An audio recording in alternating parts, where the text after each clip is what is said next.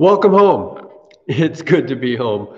Welcome to Faith Lutheran Church. We are a congregation of the Evangelical Lutheran Church in America. We are based out of Shelton, Washington. It's a sunny Saturday afternoon here on the weekend of the first Sunday in Advent. So this is being recorded for Sunday, November 29th. Happy New Year, everyone.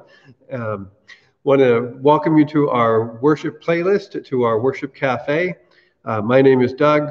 Today, our worship is going to center around God's message of hope and the promise of salvation through Christ Jesus. You can check out our website, www.faithshelton.org. Uh, you can subscribe to the YouTube channel. You can like us on Facebook as well. Lots of ways uh, to serve our local area these days. Love Inc. has a 12 days of Christmas auction. Our Angel Tree for uh, homeless Shelton High students.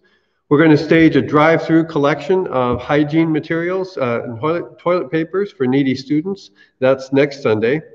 Um, thank you for your ongoing support of Living Stones, Corner of Love, and of course the ministries of Faith Lutheran Church. We couldn't do it without you and your generosity. Please use the, the links of our website to give your tithes and offerings and alms today.